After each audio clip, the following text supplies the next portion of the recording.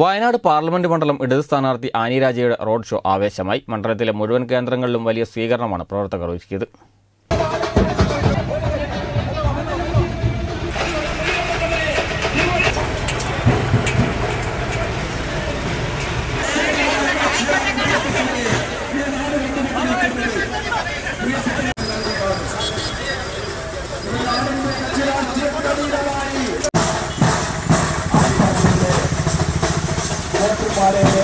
Wayanad parliament മണ്ഡലം ഇടതുമുന്നണി സ്ഥാനാർത്ഥി ആനി രാജ പര്യടനത്തിന്റെ രണ്ടാം ദിവസമാണ് തിരുവമ്പാടി നിയോജക മണ്ഡലത്തിലെത്തിയത്.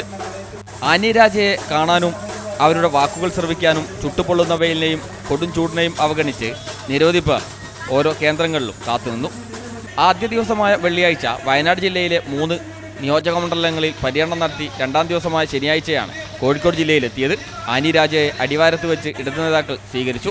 തുടർന്ന് Adivaram west Kaithappoyil Eengapuzha Malappuram Kavumpuram Kottarakkoth Theyyappara Kodanchery Nellipoyil Pullurampara Punnakkal Koodanji Karamoola Koodangaramukku Thiruvambady Marakkattupuram Cherupra Agasthianmuzhi Mukkam north Karassery Karuthaparamba Gothambu road Erinjimavu എന്നീ കേന്ദ്രങ്ങളിൽ സ്വീകരണം ഏറ്റുവാങ്ങി രണ്ട് മണിയോടെ മലപ്പുറം ജില്ലയിൽ പ്രവേശിക്കുകയായിരുന്നു Thiruvambady M L A Linto Joseph മുക്ക നഗരസഭാ chairman P T Babu Kozhikode ജില്ലാ പഞ്ചായത്ത് വികസന standing committee chairperson V P Jameela C P I നേതാക്കളായ Sathyan Mokeri T V Balan K K Balan advocate P Vasantham advocate P Gavas K Mohanan K Shajikumar C P M നേതാക്കളായ T Viswanathan V K Vinod Johny Adassery മറ്റ് ഘടകകക്ഷി നേതാക്കൾ തുടങ്ങിയവർ സ്ഥാനാർത്ഥിയെ അനുഗമിച്ചു.